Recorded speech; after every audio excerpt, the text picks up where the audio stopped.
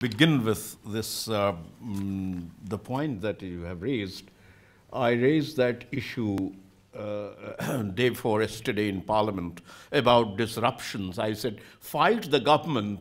Why fight the Parliament? This I'm unable to, to, to understand. But one of the experienced leaders who told me, and you were right there, that this is because of the media, especially the electronic media. So they don't disrupt. You see, what happens is they campaign. Uh, this particular issue, you disrupt parliament on this issue, on that issue, and it will be shown on the television live, and therefore you campaign. So that disruption, campaign through disruption, that is one aspect about the media. Now, coming to the media, 86,000 754 newspapers and periodicals and 831 channels, the print and the electronic media. And there isn't, and I'm very, very, I will, I will be very frank in discussing this aspect, there's very little positive in the media. There's a kind of negativity that defines our entire media a share of Urdu actually uh, explains the entire situation of the media.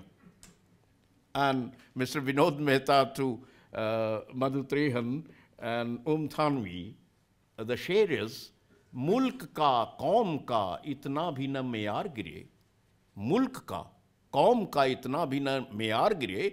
Surkhiyan dekhte hi haath se akhbar gire the moment you read the banner headlines, death, murder, rape, I'm not saying this, this hard news is not to be reported.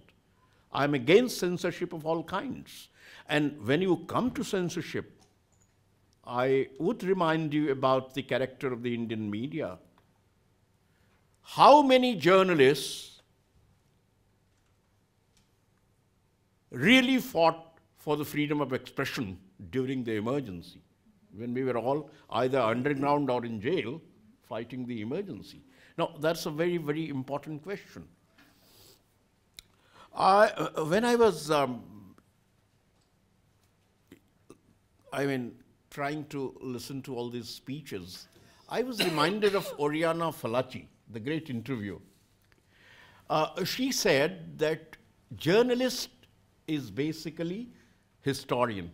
So journalism to that extent, instant history. And this immediacy, the whole concept of immediacy and instant uh, uh, aspect of the media, again is explained by uh, one Urdu शेर um, वो शेर में कहा गया है कि भाई अब भूल कर भी कोई नहीं डालता नज़र अब भूल कर भी कोई नहीं डालता नज़र चेहरा मेरा पढ़ा हुआ अखबार हो गया so this instant element of immediacy अभी पढ़ा अभी गया that's over. So this aspect of uh, uh, of journalism is also now the fine. The last point that I wish to make, without taking much of your time, is uh, about a proprietor of one of the biggest newspaper chains in India telling someone that why bother about news? Selling newspaper is like selling soap. You see? So if that is the concept of a newspaper, uh, then the purpose of the media is lost. There is a purpose. According to me, editors are ethical auditors also. They audit ideas. You know. And there are uh, editors who have not merely uh, influenced societies, they have changed the languages also. Take Agyeya, take Prabhash Joshi, take many editors. So finally, without taking much of your time, I'll conclude uh, that media, in that sense, has to be accountable to society and I am against any kind of regulation, so-called, uh, you know, authority to control media. I'm absolutely opposed to it. Thanks.